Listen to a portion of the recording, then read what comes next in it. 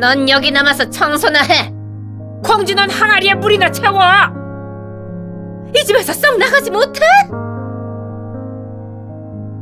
당신이 떠올린 계모도 같은 모습이었나요?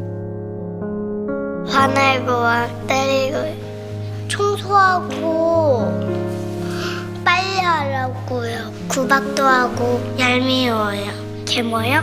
나빠요. 안녕하세요. 저는 사춘기 아이 둘을 키우고 있는 계모 김효진이라고 합니다. 안녕하세요. 16살 새아이를 키우고 있습니다. 아직도 동화에서는 나쁜 계모고 나쁜 새엄마라는 인식들이 있어서 그걸 또 아이들이 계속 이어서 볼 거를 생각하면 좋지 않죠. 대한민국 10가정 중 2가정은 재혼가정. 계모, 계부로 살아가는 분들이 늘어나고 있습니다. 그래서 우리가 알던 전래동화 옆에 새로운 동화를 두고 싶었습니다. 마음이음 동화. 같은 세상을 살고 있는 진짜 계모의 이야기로 말이죠. 새엄마를 엄마라고 부르면 하늘에 있는 엄마가 무척 슬퍼할 거예요. 다이야, 엄마라고 부르지 않아도 괜찮아.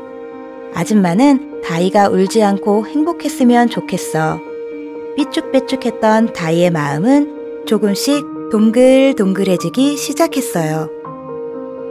나는 애벌레처럼 꼬물꼬물 새엄마에게 다가갔어요. 새엄마는 세상에서 가장 따뜻한 나비예요.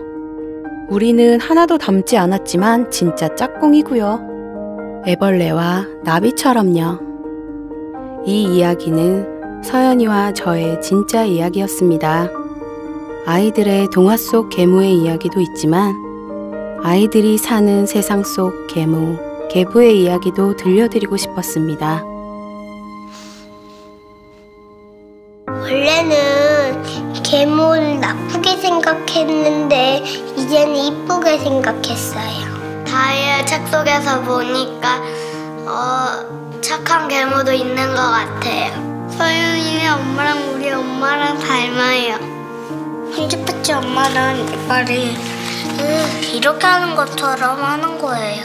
다이네 엄마는 오 아이가 나와가지고 이렇게 인사하는 거예요.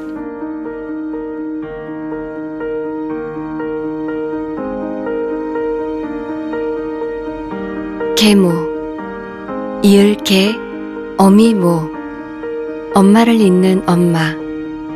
그 어디에도 나쁘다는 뜻은 없습니다. 편견 없는 생각이 세상을 바꿀 수 있습니다. 세상을 바꾸는 에너지 이미 우리 안에 있습니다. I'm your energy, GS 칼텍스.